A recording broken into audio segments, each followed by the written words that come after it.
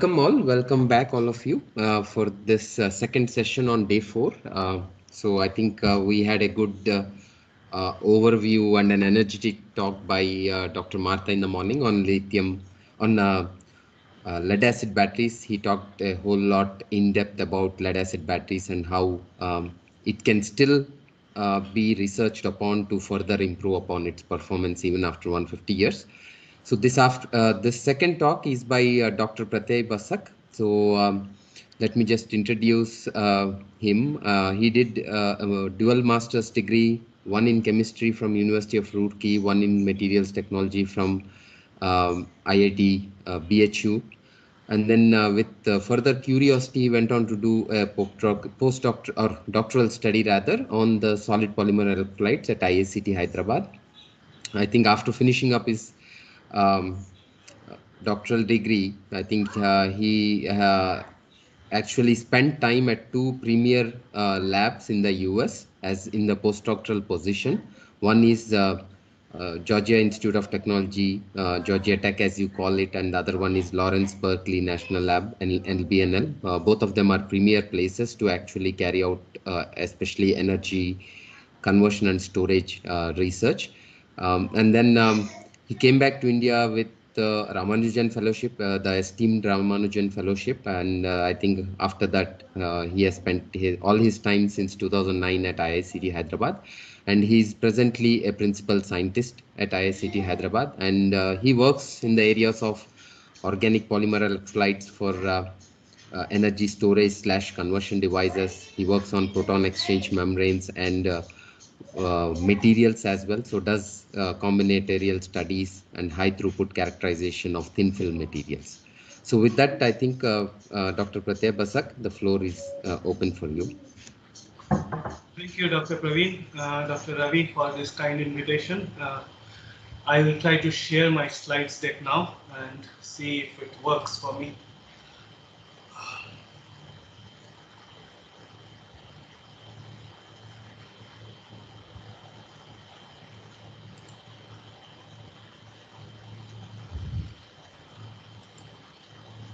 Yes, we can see your slides now. Okay, is it in the slideshow mode? Uh, yes, started, yeah. Okay. Yes. So, good morning, everybody. I know that uh, all of the participants have been uh, in this program for the last three days uh, in energy conversion and storage devices. And most probably, uh, you all have heard a lot about uh, how the next generation devices are going to be, uh, mostly uh, green and energy efficient. And I thought, uh, although you might have heard uh, a lot about uh, how the green sustainable energy resources have come into play in the recent times, although I have been given the charge of electrolytes for next generation energy storage applications. I'll briefly deal uh, a little bit of the background uh, on which uh, we are motivated to work in this particular field. Uh, it's it's good, always good to uh, have a bigger canvas on which uh, you start printing a dot or paint a, a brush stroke. So just to give you a background, I am from Indian Institute of Chemical Technology. So greetings from my institute to all the participants. You are always welcome to visit our institute post the pandemic situation, of course. And we are also a part of Academy of Scientific and Innovative Research. Uh, that's a institute of national importance with uh, the listed uh, one, and we undertake uh, research uh, in terms of uh, giving doctoral degrees and MTech degrees as well. So with this uh, small thing, long back, Richard Smalley of Rice University had listed down the challenges that face the humanity in the 50 years to come, and we are somewhere in the middle of it, and still energy is on the top of the chart. And the reason primarily is that of climate change, as uh, multiple warnings these days are being issued by scientists that global warming is a uh, thing that we cannot uh, avoid anymore now. Uh, we need to move towards uh, sustainable energy resources because energy that we consume uh, has a very, very huge carbon footprint uh, that is causing global warming. And there is no doubt that we as human beings have contributed to it. So uh, the World Economic Forum, as well as many, many countries are participating in it uh, in a very, very serious way. Uh, this is a slide I love a lot. Uh, I collected it a long time back. Uh, it's a composite image of the night for our planet Earth over a period of two years.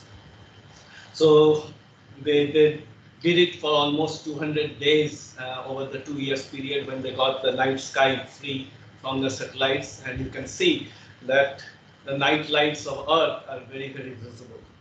What I have marked in these yellow circles are the developed countries that uses the maximum of the uh, energy that we produce globally. And uh, they are the North America, the Europe, European Union, and uh, the Japan and uh, the Chinese uh, Korean uh, Delta. So these five in pink are the BRICS countries, Brazil, Russia, India, China, and South Africa. If you see the density of lights there, we are not doing badly either. We, we are a large consumer of, of electricity and probably as a growing nation, we will keep on in, increasing our energy demand in the coming years. And uh, the global prediction uh, of energy usage and utilization right now, uh, although it is around 15 terawatt or so back in 2019, it will probably grow to 30, 32 terawatt by 2050. Uh, just to give you a um, snapshot of what it means, uh, on the left hand side, uh, there is a, a, bar plot which shows uh, the OECD and non-OECD countries uh, in the blue and the red. So what OECD means is uh, Organization for Economic Cooperation and Development, which uh, mainly has the developed countries in its fold. We belong to the non-OECD countries so far. Uh, and what I want to show you or highlight is that the non-OECD countries, the energy demand is projected to increase over the next uh, couple of decades. And on the right hand side, that's uh, the energy balance between all the different kinds of fuels that we use, coal, natural gas, liquids, we use a energy mix.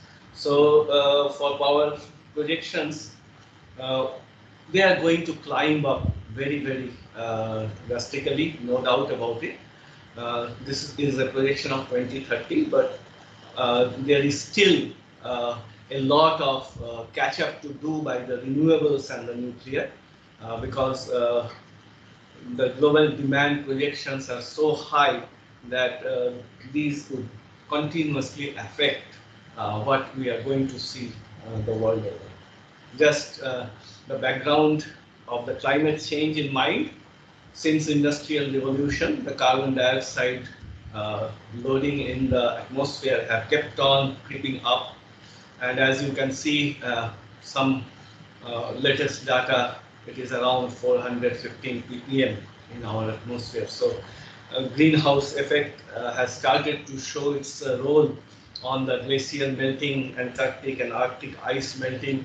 Uh, people are predicting that we would be probably Arctic capless by 2030 if you are following the news. So it, it's a it's a bad situation to be in, and uh, we don't want to be responsible for that. So there needs to be certain corrections uh, that needs to be made both societally, economically, and globally for everybody. And uh, since uh, you all are students of science, maybe sometime it is good to see a few documentary movies. Uh, I here list two uh, movies that impressed me in my early days. One is An Inconvenient Truth, uh, where filmmaker Davis Guggenheim follows Al Gore, once upon a time a presidential candidate for the US. He served as a vice president. So it, it's a uh, notable lecture by him, which has been documented. It has won two Academy Awards, and this was followed by Leonardo DiCaprio in 2007 with another documentary, The 11th Hour. It's always good if you can have access to uh, these two movies and have a look at it. Maybe your vision towards uh, uh, global climate change and energy securities and all that will change. So uh, we, we need to have um, to address many primary issues and challenges and they have implications globally, societally and economically and it is going to affect us all uh, and there is no doubt about it. So uh, we, as early we act, uh, the better we are.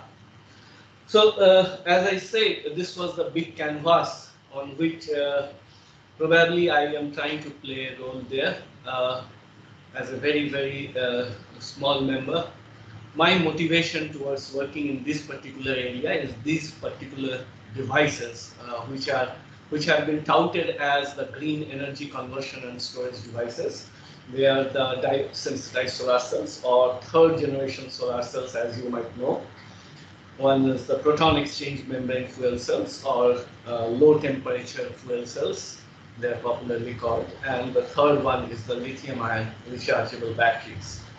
So uh, these three uh, have become popular. Some of them have become commercialized and have been quite successful over the years. Uh, particularly lithium-ion battery, we know is the workhorse for all the portable devices that we use today.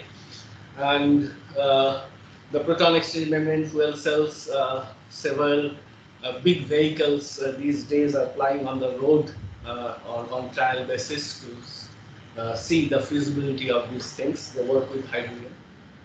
What I want to highlight here in particular is all these three electrochemical devices use electrolyte which is sandwiched in the middle and they have a role to play, a very important role to play uh, to carry the ionic charge from the cathode uh, towards the anode or the anode towards the cathode depending on whether you are charging or discharging the device.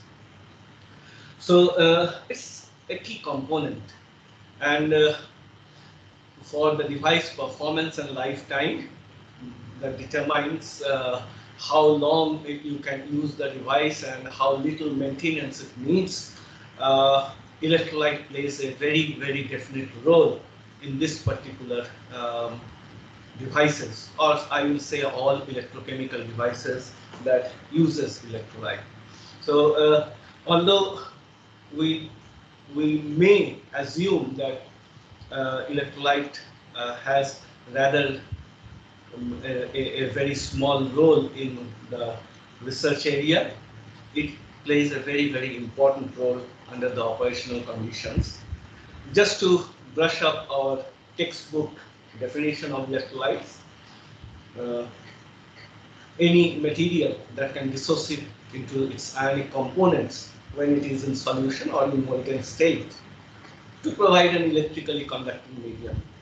So true, NaCl in solid doesn't conduct any electricity. It is an insulator, but NaCl or sodium chloride, uh, our day-to-day -day salt, when you uh, put it in water, it dissociates into Na plus and Cl minus. Or if you melt it at 800 degrees centigrade or so, it is a molten salt again you form ions which are capable of carrying the charge uh, and hence conduct electricity. So uh, the, the, mechanism of conduction, especially in these kind of ionic system, and there is a difference between an electronic conductor and an ionic conductor, uh, is that they have uh, mass transfer involved along with the charge transfer. And depending on the dissociation constant, they can behave as a strong or a weak electrolyte. And uh, if you know about it, uh, they have immense biological significance. We all have water in our body along with uh, good uh, electrolytes that help our neurons and muscles to function. Our skin can sense, uh, we can react.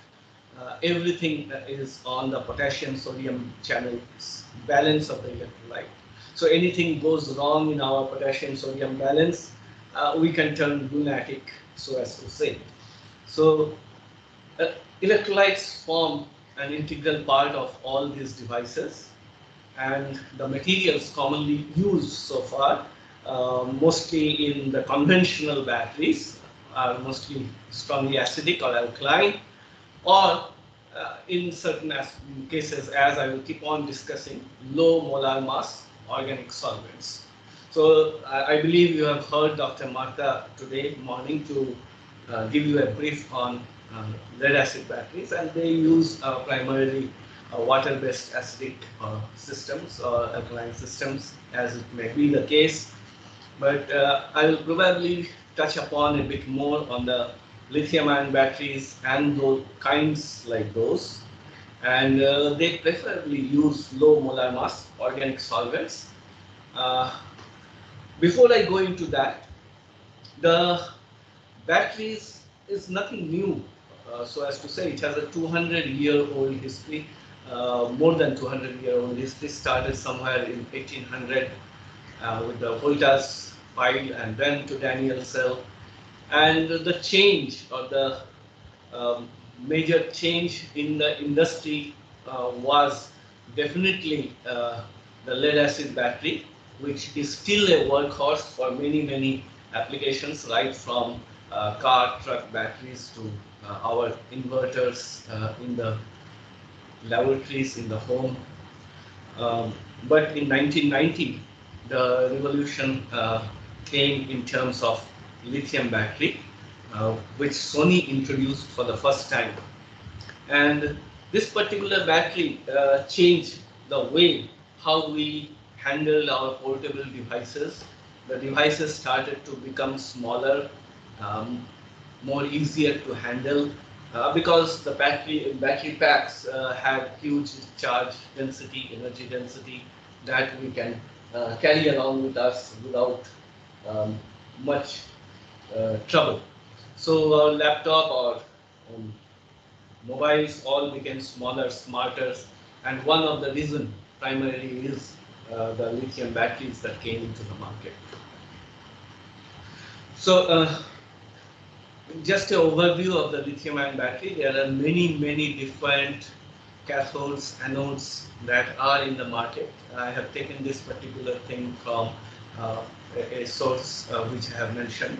So we, we have different specific energy density and volumetric energy density depending on which kind of material uh, we are choosing to make the battery. So uh, I, I, understand uh, most of you would not be familiar with these uh, abbreviations. Just to give you a feel about it, LCO stands for lithium cobalt oxide. NMC stands for nickel manganese cobalt oxide. NCA stands for nickel cobalt uh, kind of aluminum kind of system. LMO stands for lithium manganese oxide. LFE stands for lithium iron phosphate and LTO stands for lithium type titanate. LTO uh, is uh, mostly used as an anode, uh, while uh, other than the carbon-based anode systems, and all the rest of them are used as cathodes. So they make, uh, depending on the choice, uh, the batteries more energy dense, or they carry more specific energy in terms how the manufacturer choose to give you the product that you want to use. So these kind of plots uh, that we, we are uh, familiar with, um, I am not sure how, how many of you are familiar with, but these kind of plots may look complicated uh, at times, but they are known as Ragone plots. And uh, we always refer to these kind of plots because we want to understand where we can play around when we do some research. So in the bottom bottom uh, part of the thing, uh, what we can see is the marked in green and yellow. These materials are all used as anodes. And those on the top, top hand sides, most of them are used as cathodes in lithium ion batteries. And as you can see, most of them are mixed metal oxides of lithium uh, used as cathodes. And uh, graphite or carbon has been the workhorse of lithium ion battery for long now.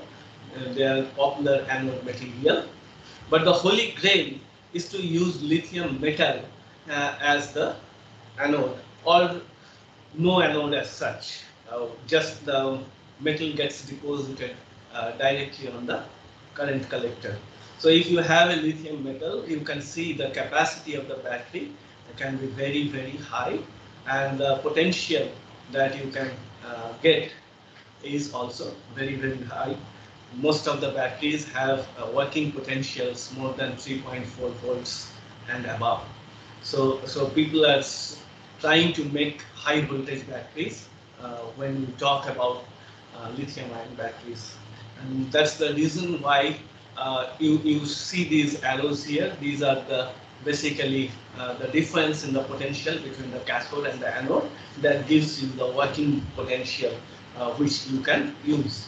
And since lead acid battery, uh, it, it, it's, it's almost double that of lead acid battery, the battery size can be reduced uh, to a, a very manageable extent.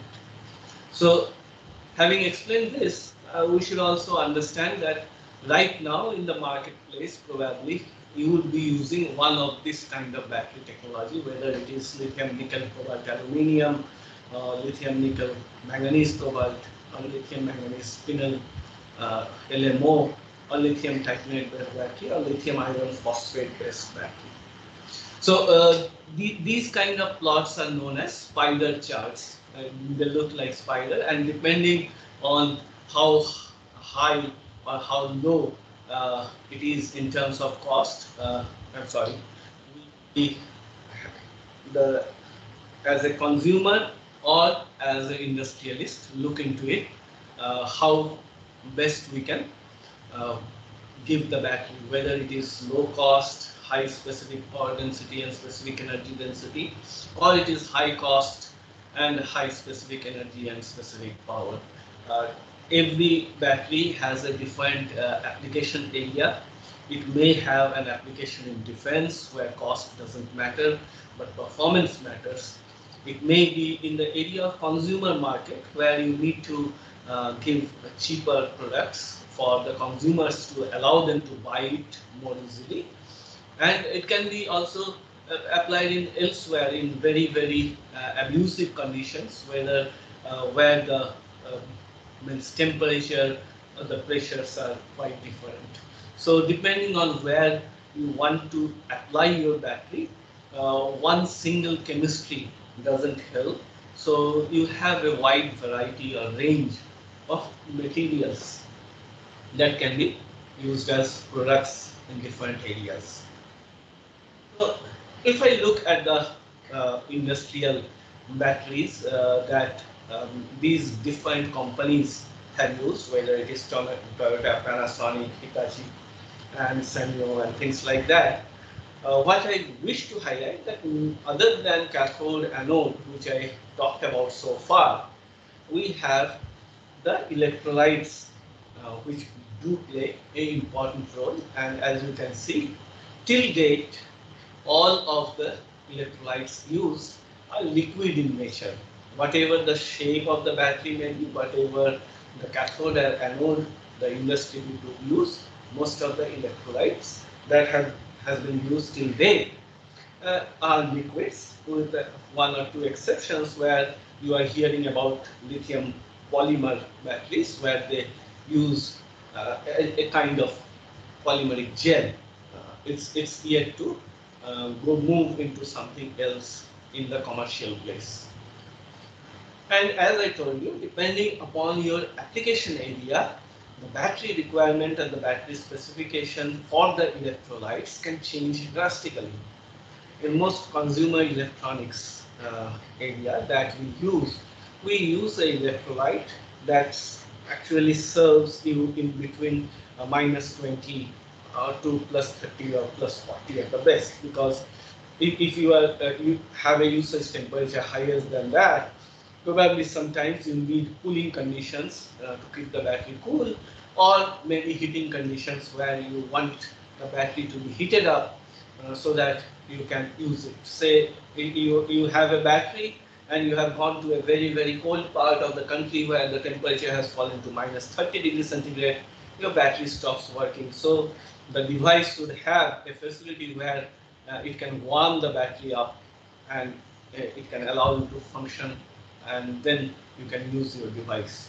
So uh, if you are using a hybrid electric vehicle, you don't want your car to stop uh, when your engine has warmed up or say you are, you are driving in a snow uh, terrain, then you need your battery uh, to remain warmed up there.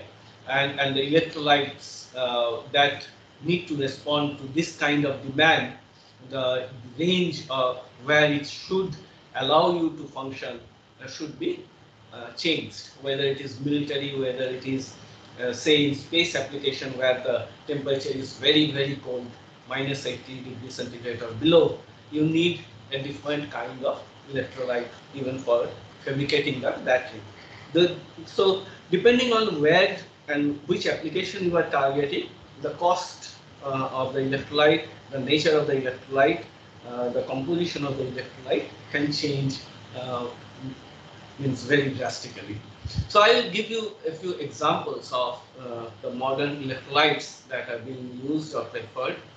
And uh, this is a typical organic electrolyte um, that people use and it is preferred mostly in Southeast Asia, Japan, Korea, China, where uh, Taiwan, where most of the batteries these days, uh, lithium ion rechargeable batteries are being made uh, or fabricated these days. There have been big industries to make lithium ion batteries and uh, they are primarily made up of ethylene carbonate and a mixture of diethyl carbonate. Uh, both are uh, usually in 1 is to 1 uh, volume by volume ratio with lithium hexafluorophosphate as the salt. So we need to understand that when we say it is an electrolyte, you have a component which is the salt that dissociates into the carrier ions, lithium plus and PF6 minus. And then for it to dissociate, the medium should be very, very polar because other than that, the ionic compound lithium hexafluorophosphate or any other salt, so as to say, won't dissociate into its ionic components. So if you are willing to use a organic electrolyte, the organic medium should be very, very polar. And this polarity, you can see that uh, there are heteroatoms, oxygen atoms, carboxyl groups, carbonate groups, uh, nitrile groups, groups like those uh, help you to give uh, polarity uh, in the medium and helps you to dissociate the salt. Also, if you see on the right uh, bottom corner, I have mentioned H2O less than 15 ppm. When I say that, that means our electrolyte should be very, very, very dry. Most, uh, most of the time, uh, whenever we are handling systems outside in the open atmosphere, materials tend to absorb a little moisture, water. So water content in these kind of systems, especially when you are talking about lithium ion battery and sodium ion battery, uh, we, we don't prefer to have water in this kind of system. As we know, lithium ions, sodium ions are very, very reactive, very sensitive to moisture. If, if those things happen, then lithium immediately reacts, sodium immediately reacts to form unwanted uh, things that uh, leads to the failure of the batteries. So what we need to do is when we prepare the electrolytes, the conditions should be very, very dry. It has the very stringent conditions have to be maintained. If it is not dry, then after making the electrolyte, we need to make them dry by following certain protocols. And hence, the special equipments and uh, fabrication rooms are required to handle this kind of system. And this is just to make you aware that uh, for lithium-ion batteries, uh, electrolyte is not uh, that easy to handle or, or, or use. Continuing on the other uh, similar electrolytes, this is preferred in North America. Instead of diethyl carbonate, they prefer to use ethyl methyl carbonate. And if you see, again, we people have been using carbonates as the polar medium, and the boiling point and the freezing point determines how good those electrolytes would behave in low temperature and high temperature condition. The polarity of the medium should be high enough so that one molar concentration of the salts, uh, one or 1.2 molar concentrations of the salt can be achieved in the system. And uh, the freezing points determine how low it can go. And so uh, there should not be any, a, a, it should take any temperature fluctuation without salting out or precipitating out of the salt from the system. And the system needs to be very, very dry. So not only, not only the solvation of the salt is important, it is also important that the conductivity of the system, uh, ionic conductivity of the system should be high and within the usable range. And I am putting here a electrolyte uh, commercially sold by Merck under the trade name Selectilyte, just to show you that specific conductivity of the system should be preferably within this range around 1 millisiemens per centimeter at minus 20 degrees centigrade to approximately 20 millisiemens at 60 degrees centigrade uh, for batteries to work well. So uh, this should be uh, a benchmark for us when you are making an electrolyte that this kind of conductivity range should be achieved in a liquid electrolyte and then only probably it is feasible for making the battery, assembling the battery and then the battery can function well without any problem. So apart from these um, things which I already mentioned about in terms of electrolyte, not just lithium hexafluorophosphate, but over the years, many, many different salts have been tried. So just to tell you why we look for different salts, if you have observed, lithium is a very small cation. And we are not using lithium chloride, which is probably the cheapest of the salts. Chloride ion is rather small when compared to hexafluorophosphate or any of these anions that you are looking into. Bis trifluorosulfonamide, bis oxalatoborate, these kinds of anions are very, very big in size. So why we choose that? We choose that because their lattice energy is low. They can go into solvation very easily. Apart from the fact they are electrochemically very stable. Chloride-based systems or perchlorate-based systems may not be electrochemically stable. So, so when we talk about lithium-ion batteries, since the voltage range is quite high, we need a electrochemically stable systems. Preferably, these systems should have electrochemical stability or anionic stability better than 4 volts at least for the systems to work. Otherwise, we are, when we are talking about rechargeable batteries, as we keep on going through multiple cycles of charging and discharging during our process, we will keep on losing the battery efficiency. Uh, there, there will be heavy uh, loss in how the electrolytes go through the system. And uh, there would be pseudo reversibility and all that. And slowly over a period of time the battery would fail. And uh, as a consumer I would never wish that. So alternate salts are also tried, although uh, lithium hexafluorophosphate till date is uh, the industrial workhorse. So most of the systems have lithium hexafluorophosphate in it, but sometimes for special applications, these kind of other salts are also preferred. So apart from salt and the solvent, many electrolyte additives are also used and I have just shown the chemical structures here. Some of them are actually used for the anodic protection and stabilization and some are used as cathodic protection and stabilization. See, when uh, we use lithium ion batteries, one particular aspect that we need to keep in mind is that lithium is very, very reactive. And when lithium ions come in contact with the active cathode or anode, sometimes they have unwarranted reactions, side reactions. So the side reaction in the initial cycles of formation, when you just make the battery and you are, before you put it in any device, you basically go through formation cycles to make it a stable system. So during that period, you actually go through three or four cycles to which we call as formation cycle and during this time some interfacial layers forms on the anode and the cathode. And this interface layers actually help you to protect the cathode or anode from the electrochemical degradation or spallation or exfoliation.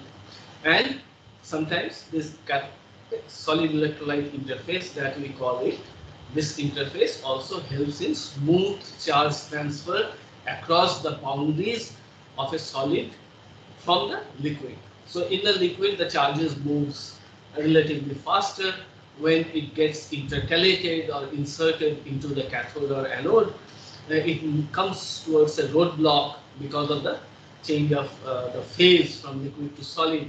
Definitely it is slowed down a little bit. So if there is an interface here, it basically softens the uh, movement across the boundaries of a liquid to solid and hence we call it a solid electrolyte interface. Now this solid electrolyte interface has a very very important role to play. If it is not stable then what happens? Every time you try to charge or discharge the system, this interface can dis dissolve or reform. And when it dissolves or reforms, it basically consumes your electrolyte material. And over a period of time, your electrolyte can dry off or lose all the cations or anions from the system and your battery would become a dead, dead system without any use and you have to throw it. So these kind of interfacial layers have a very, very important role to play and this is particularly composition you are playing with in the electrolyte. So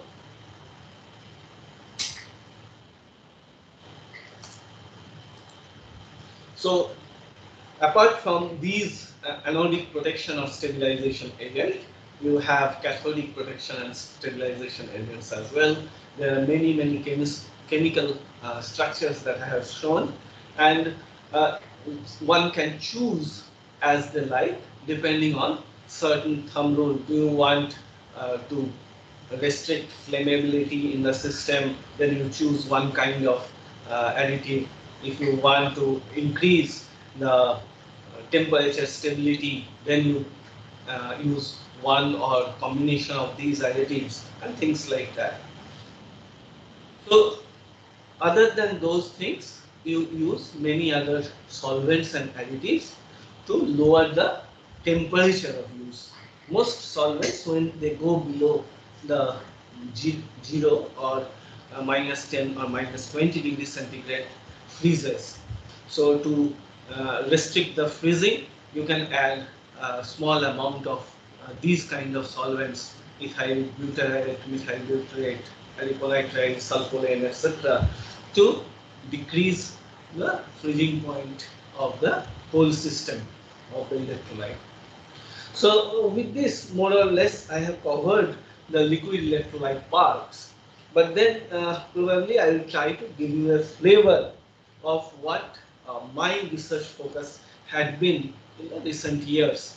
And uh, I'll try to share with you uh, how I have approached the problem, why I have approached this particular problem, and what are the challenges involved in it, how we characterize the system, what kind of equipments uh, we use to do this kind of characterization, and try to give you an overview of uh, the challenge of the electrolytes for next generation lithium ion batteries because uh, research has to continually uh, keep on uh, striving to give you a better performance, better device, better everything.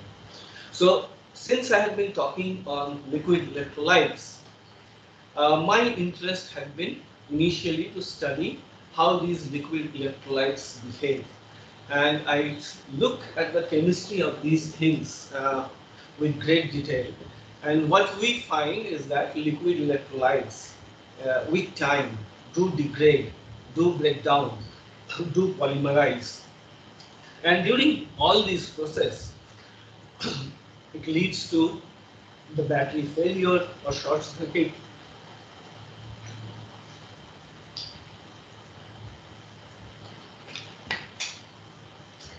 There. So degradation and or unwanted byproducts leads to performance decline and self-discharge of the system. What I meant by self-discharge is if you leave a battery over a period of time, it should not lose its capacity. So it can, even if you are not using it, it should maintain or hold its initial capacity so that whenever you need it, uh, you should get the function out of the battery possibly. So as I was talking about lithium hexafluorophosphate, lithium hexafluorophosphate, even in the presence of little bit of moisture, can uh, lead to uh, formation of very, very acidic component, HF, hydrofluoric acid, that leads to corrosion of the anodes or cathodes. Or it can, the PF5 can lead to ring opening polymerization of the electrolyte solvents. And this can lead to increase the viscosity of the system and slow down the charge transfer mechanism in this kind of system. And we had followed these through various different techniques. Uh, on the left bottom hand side, this is a typical uh, GC or gas chromatography analysis of the system that how the electrolyte degrades over time, what are the speciations uh, that happen uh, because of this kind of degradation and how over a period of time the interfacial and the bulk impedance can keep on increasing uh, with temperature and so on. So, so these kind of uh, problems uh, tend to occur uh, when we have not formed uh, a lithium battery um, that have uh, electrolytes which has been properly made, which are not dried properly and things like that. So there are key engineering issues associated with this kind of system. If, if you have uh, seen uh, certain battery failures, one of the main reason uh, is the formation of these kind of finger-like structure as you can see. These we call as dendrites. So this is one particular region that even though the holy grail uh, is to use lithium as a metal as anode, so that we can get high specific uh, energy density. Uh, we don't use it just to avoid the battery safety. What happens is that uh, in the battery over multiple charge discharge cycle, these kind of fingers grow and slowly it shorts, I mean touches the other part of the electrode on the opposite side and then it shorts. When it shorts, uh, it can give you a explosion or a, it can catch fire as it happened for Dell. Uh, if you recall, in 2006 during conference, uh, there were four or five Dell laptops which caught fire and then Dell had to recall 4 million laptop batteries uh, just because uh, five uh, Dell computers caught fire. so um, these were again supplied by Sony and it had a um, means very very bad name for Sony during that time. So there have been airline incidents. In airline, there are uh, those APU battery packs uh, which uses uh, lithium-ion batteries, and then uh, four major accidents uh, were averted um, because of, of course, the pilot sensitivity. And most recently, I'm sure you remember this case that uh, nobody was allowed to carry Samsung Galaxy S7 phone when they went to airport because there were serious concerns about fires and explosion and uh, Samsung had to pay a price for that in 2016. So although lithium ion battery uh, had been the workhorse in the portable devices, uh, several issues have plagued it uh, in terms of safety. Uh, so continual research and uh, is needed to avoid avoid these kind of uh, incidents. So most of the failures and setbacks, although they have been assigned to poor cell design, cell manufacturing flaws, external abuse of the cell, uh, poor battery pack designs and things like that, uh, cell thermal runaway, uh, rapid cell heating, however, uh, can occur primarily because of when the electrolyte is not uh, that good, not that dry. Uh, people occasionally uh, take electrolyte as a mundane component of the system, but then you, you need to realize that if it is not dried fully, then uh, lithium uh, can play havoc on the system. So uh, this is all uh, that I had to talk about liquid electrolytes so far. But then, uh, even though it is commercially already available in the market, um, all these devices we are using do carry these systems. What, as a researcher, I am trying to do is highlight the drawback of these particular liquid electrolyte system.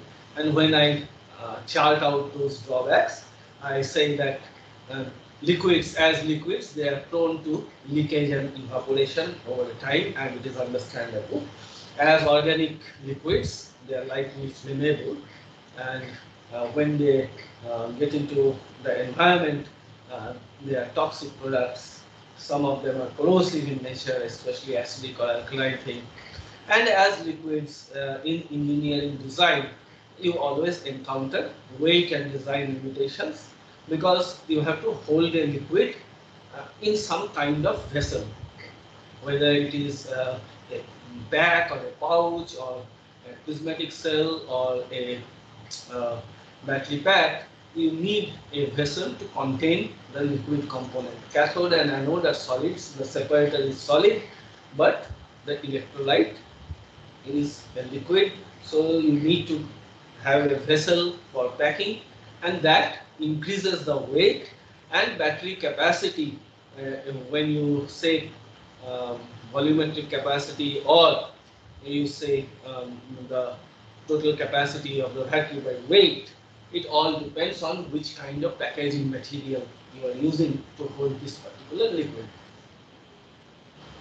Uh, with this kind of uh, background, there was uh, in 1970s uh, a shift away from the concept of liquids as an electrolyte and by Wright and Armand it was shown that polymers can also behave as a electrolyte.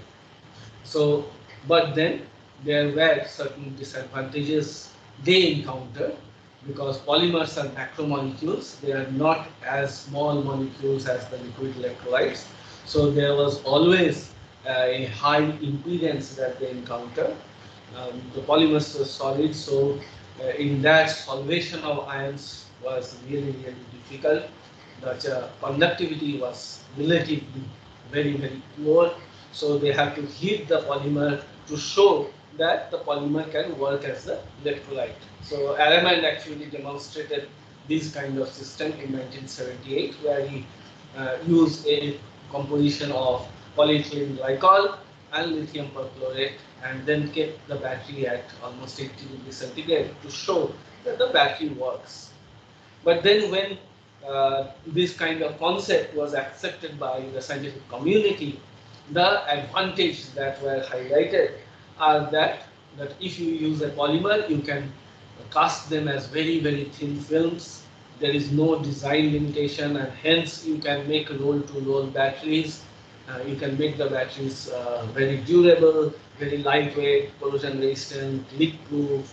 Uh, you see everything green and uh, they can increase the safety of the system. So uh, this uh, became a research topic for many, many scientists uh, all, all over the world. Uh, and it introduced the concept of all solid state batteries, uh, including me. I, I, I, I, was starting in my research area in those, in those early 90s, late 90s, and I was fascinated by this idea of using polymers as electrolytes, and this became one of the area of motivation for me to follow research. So basically, not all polymer can behave as a uh, electrolyte or electrolyte system. Basically, what the polymer is doing is act as the medium that the carbonate solvents acted as the medium for dissoluting the salts. The polymer itself should have several properties. Over the years, uh, many, many researchers have worked on different polymers, whether it is polyethylene oxide, polyacrylonitrile, polymethyl methacrylate, polystyrene sulfonate, and all those. So all of these polymer, again, like the liquid uh, carbonate solvents, have, you can see, a heteroatom in the chain. And these heteroatoms, whether it is oxygen, nitrogen, uh, sulfur, helps in the salt solvation to form a transient uh, cross link. And apart from that, the polymers need to have a low degree of crystallinity. When I say polymer should be amorphous, that means it should have low degree of crystallinity. I will try to explain the reason why it's so when you have low degree of crystallinity, basically you promote more segmental motions in polymer. If you, if you, if you are familiar with polymers, then you, you will know that in polymers we talk about a temperature called glass transition temperature. Be, below this temperature, your material is glassy solid and above this temperature, your material is viscoelastic or uh, it, it is like it has internal Brownian motion into play. Uh, if you are a student of organic chemistry, you will remember conformers or conformational isomers. That means bond rotations keep on happening at different temperatures. So if you talk about a polymeric chain, it is basically a long chain of carbon-carbon, oxygen, carbon-carbon kind of bonds. And all these bonds are always in motion at a temperature above the glass transition temperature. So if the polymer has a low glass transition temperature, that means at room temperature, all these bonds would be very, very mobile. They will keep on rotating around itself. Uh, they will keep on vibrating. So uh, they, they have internal Brownian motion and with time uh, they, they can change places and this we call as segmental motion of the polymer and the crystallinity in the system actually impedes these kind of bond motion because whenever we are talking about crystalline region of the polymer, the polymer is uh, going around itself uh, to form a lamellar-like structure or crystalline domains, a well-arranged system, whether it is through hydrogen bonding or uh, by some other cooperating mechanism.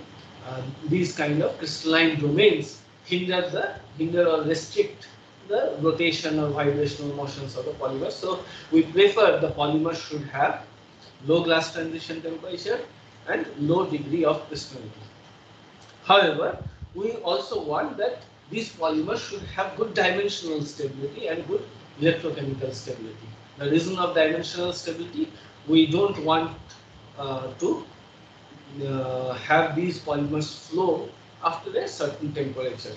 Uh, because not only glass transition temperature, polymer would do also have melting temperature. If they melt, the molecules are now uh, all randomized. They keep on moving in different directions and you lose the dimensional stability of the system. And electrochemical stability, why?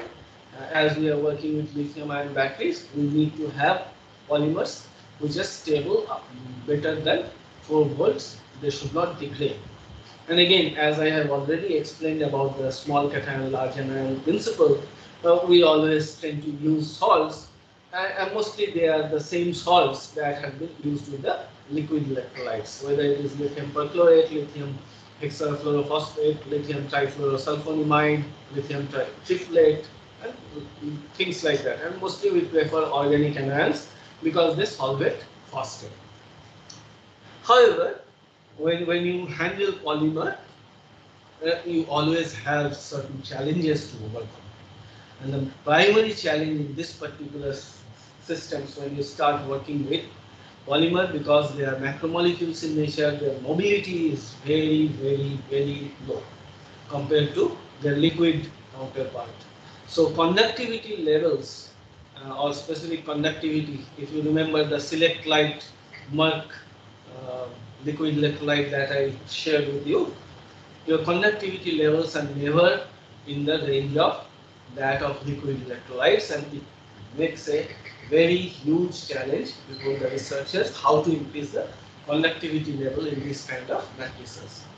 And then again, when you start making device or start making uh, any, any cells to study these particular systems, you encounter interfacial impedance because it is now not a solid liquid system anymore, rather it is a solid solid system and then uh, you have a solid solid interface and that interface can create a lot of problem if there is no proper contact charge transport across the interface becomes a huge impediment.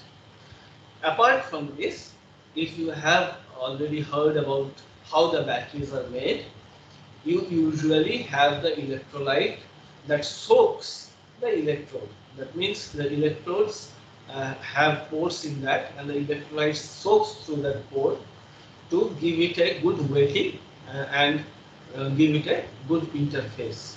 So if you are using a solid polymer electrolyte, uh, it would not flow and hence it would not pore fill the electrodes. So it, it is a it is a challenge to be encountered. Uh, different tricks that we, we try to use when we make a lithium ion battery.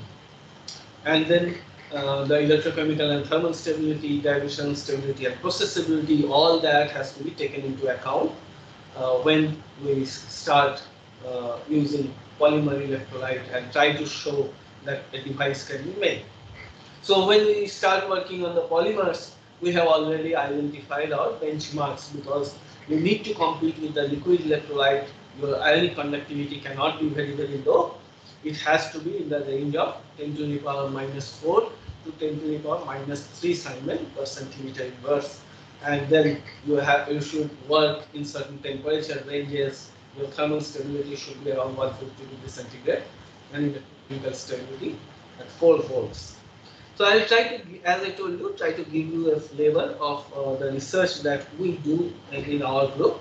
So we, we work with hyperbranched or interpenetrating polymer network. And the reason I work with these kind of system instead of simpler uh, polymeric system is that we, we try to form three-dimensionally cross-linked networks that has inherent entanglements and this gives us dimensional stability, mechanical uh, means uh, it has better mechanical uh, properties than than relatively the blend or the copolymers. And then formation of IPNs and hyperbranches, we can also restrict the phase separation. We can combine two or three different polymers with uh, very different uh, uh, miscibility indices, interaction parameter. And when we have different interaction parameters in polymers, we can end up uh, with a very, very phase separate system. As I am showing you here in the bottom pictures, uh, these are SEM images of uh, how a IPN is different from a blend. It is, it, it, it is a, it's the same system of a polycarbonate and polystyrene coacrylonitrile. Their miscibility parameters are very different. So they do not mix when you blend them. So what happens after you cast it as form of films or try to uh, form something out, mold out something out of it, after mixing, the blends would show under the microscope these kind of island patterns and, and they would be relatively big in size and this happens because uh, the phase separation has happened. But compared to this, the same system, when you form a IPN or interpenetrating polymer network, the microscopic phase separation is restricted. So what I mean to say is that you have a better homogeneity in the system.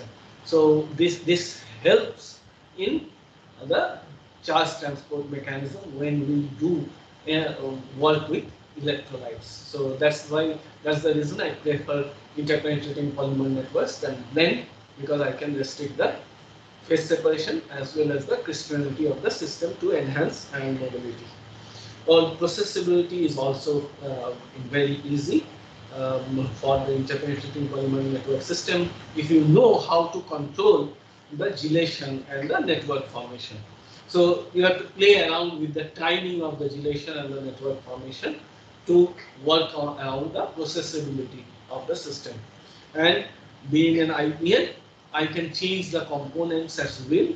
I don't need to care about the interaction parameter and hence it offers me uh, flexibility in terms of parameter optimization. So I can vary many, many different parameters in the system and tailor the system. As I was uh, also referring to you, that the glass transition temperature and melting temperature are two critical parameters in this kind of polymeric system. Here is an example of DSC plots. What DSC means is dynamic scanning calorimetry and sorry, differential scanning calorimetry. And here we look at the heat flow. And uh, when we look at the heat flow, uh, what we try to find as a function of temperature, how the material is taking up heat uh, per unit weight. And the glass transition temperature is, is usually uh, in this range as you can see. I have shown many, many systems that we work with where we see a change in slope during a glass transition temperature. And during a melting temperature, we see a endothermic peak. And uh, these indicates how much is the crystallinity in the system.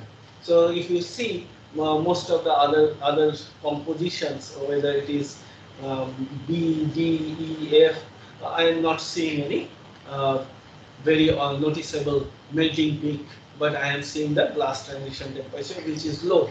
And these kind of systems are usually preferable for us. So just to give you an idea of what a semi-interpenetrating polymer network is, uh, no problem if you are not uh, very versed with polymers, but polymers are usually long thread-like structures of organic molecules. They, they have a very, very large molecular weight and we can cross-link those systems in the ways we wish it to be. And all these nodes in this particular uh, cartoon representation of the polymer are the cross-links where from you have branched out and tied up with the other part of the chain. So basically it is like a fishnet when we say it is a network. And within this fishnet, if you pass in another thread which is another polymer basically uh, you can do that in sequential mode or in simultaneous mode if you have a thread uh, interpenetrated into that fishnet you will see that it is once interpenetrated and it is very difficult to release that individual thread from that fishnet so basically it is, it is a fishnet with another thread uh, which has been interwoven within the uh, different crosslinks and it makes a three-dimensional co-continuous network uh, that is shown here uh, through this cartoon representation. So these kind of polymers are mechanically very stable and we make them in the lab. As you can see, they, they you can handle them very easily. They are very, very flexible and, and uh, you can mold them very, very easily. So these are the polymer systems that we work with as electrolytes. And just to show you, these are microscopic images, electron microscopic images, how the polymer looks like uh, in, under the microscope, uh, a scanning electron microscope. And we would like to uh, see and visualize whether there is phase separation or not, uh, uh, whether we have achieved the light morphology uh, or in these kind of systems. So after uh, we make those systems with the salt solvated in it, uh, please don't bother about the lots of plots that I'm showing here. Uh, I don't want to bog you down with that, but what I need to show you is how we measure these kind of things. So the primary thing is to find good ionic conductivity in the system. So we measure, we take the polymer uh, based systems, we sandwich them between two electrodes, which are usually blocking electrodes. When we say blocking electrodes, it can be platinum, it can be gold, uh, it can be stainless steel as well.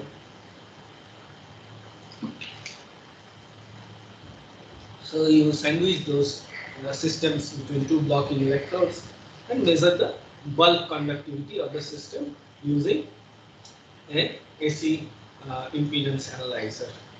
Why, why AC and not DC is because of the reason we are dealing with ionically conducting system. If you apply a DC voltage for a certain long period of time, you tend to deplete ions, particularly when you are using blocking electrodes. You don't have an ion source that replenish the ions. So the moment you apply a voltage to measure the current, you start depleting the ions. So you basically have a polarization in the system and uh, if you try to measure the conductivity as a function of temperature, every time you measure the conductivity, you will keep on losing the number of charge carriers in the system. You will deplete the ions and your conductivity will not give you the right trend. So we use AC impedance to measure this kind of conductivity. So we use a AC signal, whether it is of voltage or of current, you can do it galvanostatically or potentiostatically and measure how the system responds to it. And when you measure it, you determine from the, the specific conductivity of the system. And all these plots uh, here are, are from those kind of measurements. Uh, if you see the bottom uh, lower part where I am saying uh, Arrhenius with your transition behavior. Basically, I have measured the conductivity as a function of temperature. And as you know, in any system, uh, when you measure the conductivity a function of temperature, can follow uh, usually Arrhenius behavior when it is only dependent on the temperature of the system. But if any external parameter uh, comes into play other than the temperature, then you see a non-linearity in the system. And then we say that it, from Arrhenius, it has transited to a uh, non-linear behavior and it can follow any equation like Vogel-Tammann-Fulcher here. It can be uh, any, any other non-linear equation that you are comfortable with. Also, we measure uh, from the differential scanning calorimetry the glass transition temperature of the system and we try to correlate that how glass transition temperature of the system uh, allows the conductivity behavior as a function of the salt content. When, when I say this PO by uh, M mole ratio, it is actually the amount of salt content.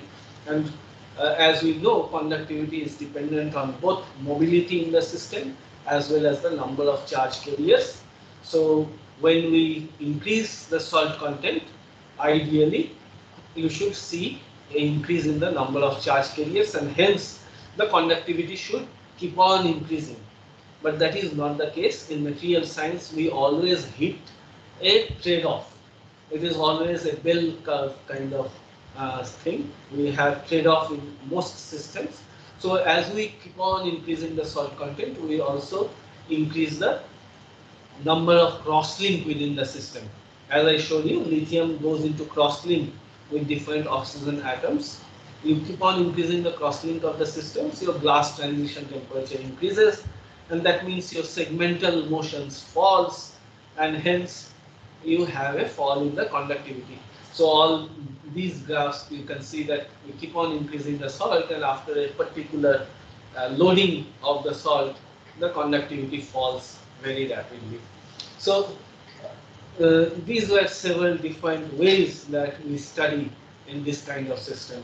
And, and, the case, as you can see, that we keep on increasing uh, the different um, compositions that we study, and then we look at how these materials behave. As you can see clearly here, this is a typical temperature versus uh, log conductivity plot.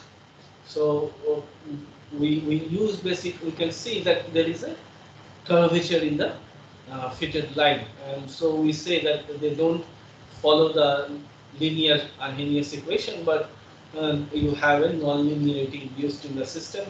And it, it is usually because uh, the segmental motion plays a very, very definitive role in this kind of systems. So apart from conductivity, we also study uh, using various spectroscopic technique and one example here is of that of uh, Fourier transform infrared spectroscopy. Infrared spectroscopy most of the time uh, we use to determine the functional group, right? So apart from determining the functional groups, we can always study uh, in infrared spectroscopy or Raman spectroscopy very, very quantitatively. If you, if you, if you carry out careful experiments with infrared or Raman spectroscopy, you can quantify the different functional groups that uh, you have in the system and how they change with change in salt concentration, interactions, ion distillations, uh, and these kind of mechanisms we study uh, for the electrolytes because it is always necessary for us to understand how the ion-ion and ion polymer interactions occur in these systems to help us improve the performance in these kind of systems. So I was talking about the conduction. So about most of our studies uh, look at the ionic conduction in this kind of system and ionic conduction in these systems are a little different than pure liquids or pure solids. So when you see pure liquids, uh, you have ionic conduction as your charge carrier is solvated in the uh, your sol solvent. You have a solvation sphere. The the the charge uh, means the salt when you put it in the medium has dissociated, and then the ionic mobility is uh, limited by the mass of the solvation sphere. It diffuses uh, under the electromotive force, and the restriction to this is the electrophoretic drag of the solution or the frictional force. Similarly, in solid, uh, you, if you have oxygen vacancies or other vacancies created defect sites, you have ionic hopping in those kind of systems. And depending on the number of successful jumps inside relaxation, your, your conductivity will depend in pure solids. Polymers are something in between you, you, they are neither liquid nor solids. So you, you have a interplay of both the mechanism. Uh, you, you have ion dissociation similarly in polymers because of the heteroatom. And then uh, there is segmental mobility that helps it for the successful jumps. And your salt concentration should be such that there are enough vacant sites in the polymer for the ions to jump.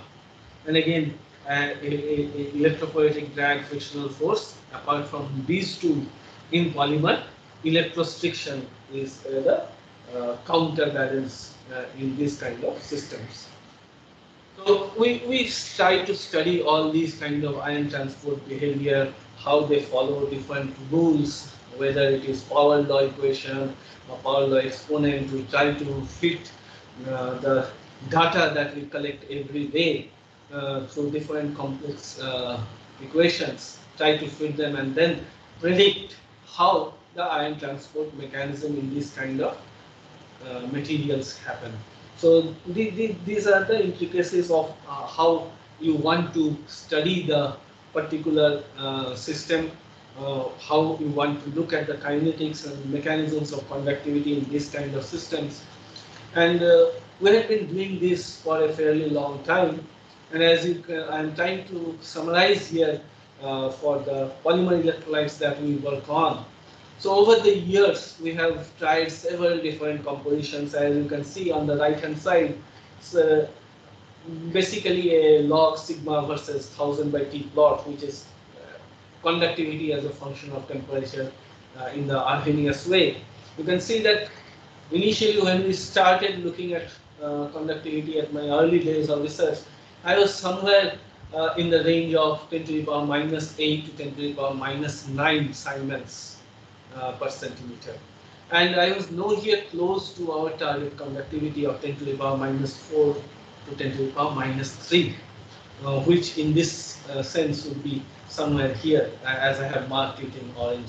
So over the years, through different trials and studies um, by various uh, researchers uh, in my group, we have now uh, probably uh, confident about uh, hitting the um, right conductivity levels that we can possibly use for the battery applications. So uh, if you see the temperature range is somewhere between room temperature uh, to up to 90 degrees centigrade.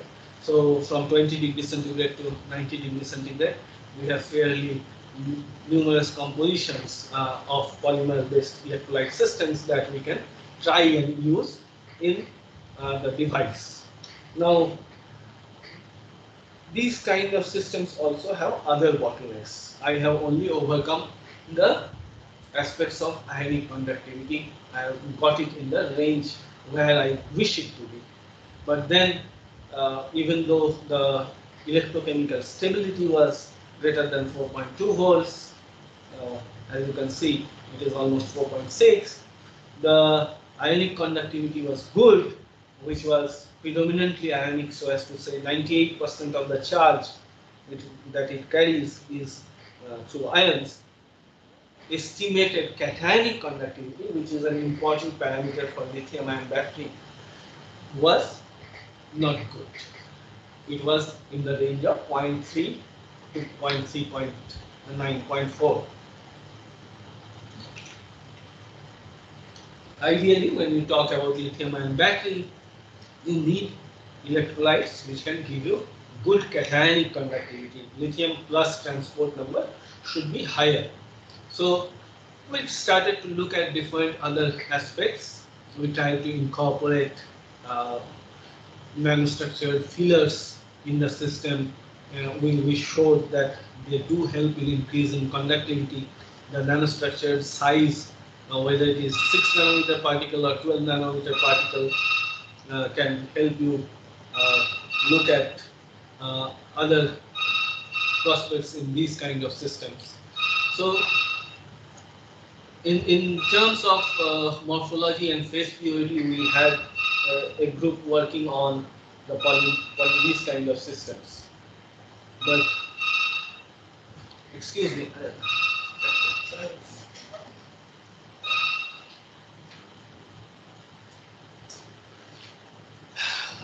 Okay, sorry, I think uh, I was having a phone call. Sorry to interrupt. So with the with, with the nano hybrids, we started playing around with brush-like architectures for electrolytes to give it a uh, different dimension.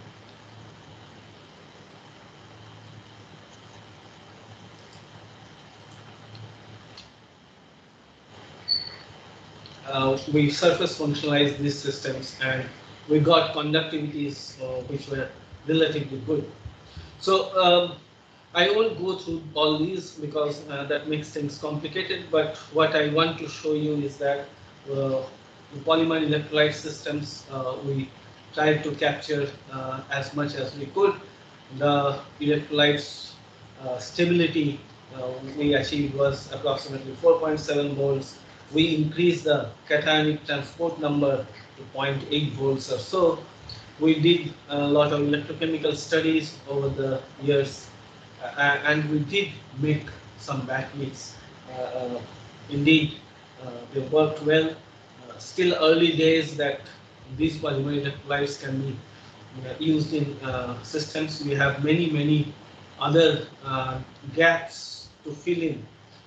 but there had been encouragement in the terms of the how the batteries can cycle and uh, do they work with commercial electrodes? Yes, they can. Uh, we have shown them over 100 cycles. Uh, it can take the abuse. We have varied the how we charge and discharge and how the coulombic efficiency is. Uh, so those things we are working on still. Uh, this is this was just to give you a flavor of uh, what polymer electrolyte is and how uh, they can be used as next generation systems. This is an example other than the battery where polymer electrolyte was used and integrated into a electrochromic device uh, to give you a change in the color uh, of the system and how fast it can do it. So other than this, I know you have also looked into third generation solar cells. So we try to integrate these kind of electrolytes into third generation solar cells to give them uh, many, many hours of uh, durability. So with this, I thank uh, my collaborators and Director CSI and IICT, the research scholars who work with us, my funding agencies. Uh, I will now leave the floor uh, for the participants to, uh, if they have any questions, uh, I will be very, very happy to answer them and address them. Thank you. Uh, I will stop presenting.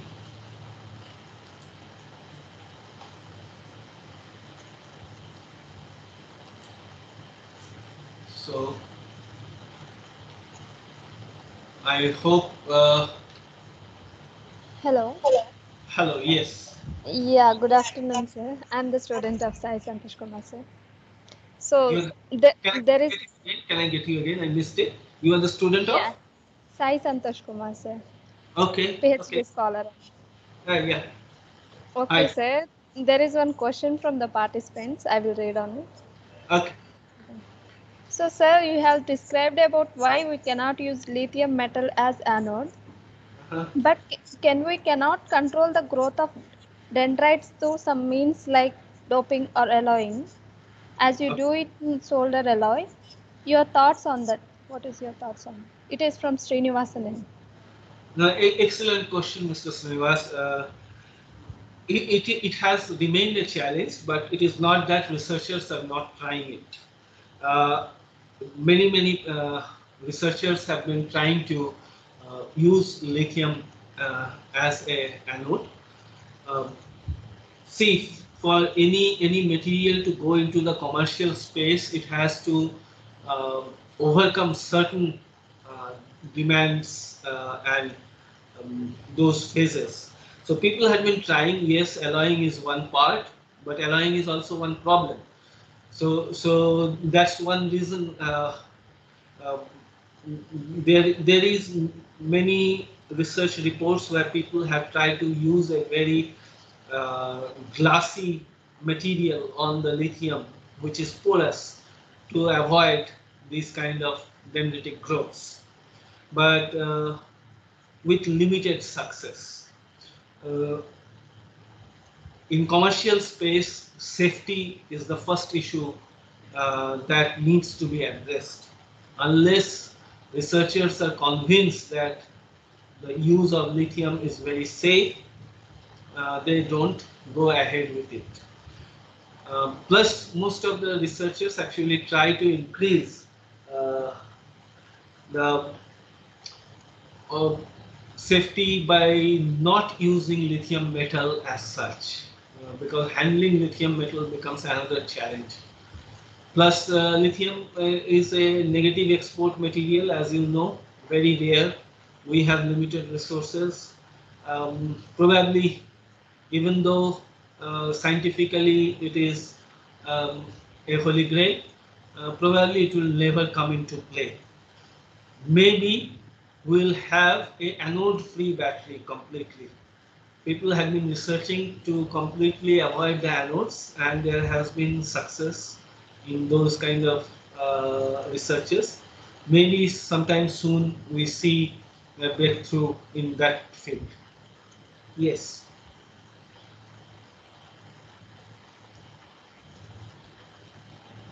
Any other Okay, questions? sir.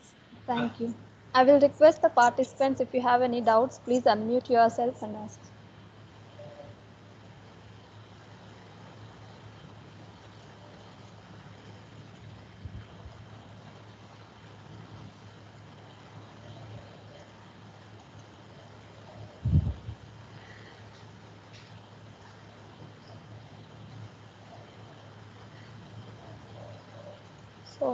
Okay. Thank you so much, sir, for this wonderful presentation. You're welcome. Thank you.